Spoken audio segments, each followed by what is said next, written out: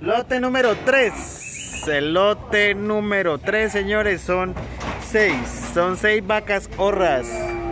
El lote número 3 son 6 vacas horras que pesaron 2.750 kilos. Promediaron a 4.58. Estas vacas llegaron de Puerto Boyacá. De Puerto Boyacá llegaron las vacas. La base por ellas es de 3.500. 3.500 es la base por estas vacas. Es el lote número 3 y fue pesado a las 12 y 4 del mediodía. 12 y 4 la hora del pesaje. Es el lote número 3. 2.750 el total y 4.58 el promedio.